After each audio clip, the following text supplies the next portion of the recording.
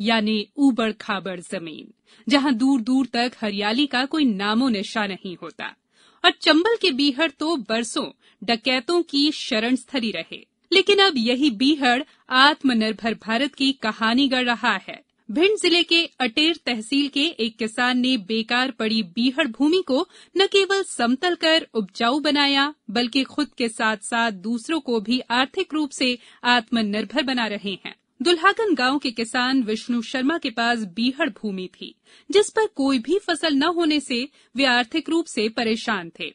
पाँच साल पहले उन्होंने इसके समतलीकरण का काम शुरू किया और आज वे 10 बीघा समतल उपजाऊ ज़मीन के मालिक हैं और उन्हें सालाना छह लाख रुपए तक की आय हो रही है।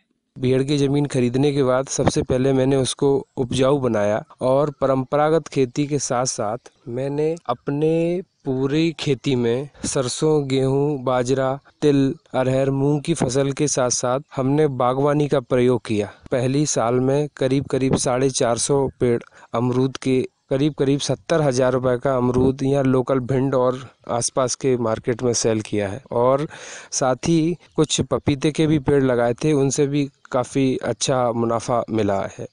विष्णु शर्मा की मेहनत का फल उन लोगों को भी मिल रहा है जो उनकी खेत पर काम करते हैं। लोकल के कुछ लोगों को रोज़गार से जोड़ के रखा है। अभी हमारे पास वर्तमान में करीब पाँच से छह लोग यहाँ निरंतर काम करते हैं, जो कि खेत में तरह तरह के जो काम रहते हैं, निराई, गुड़ाई, बुबाई वगैरह।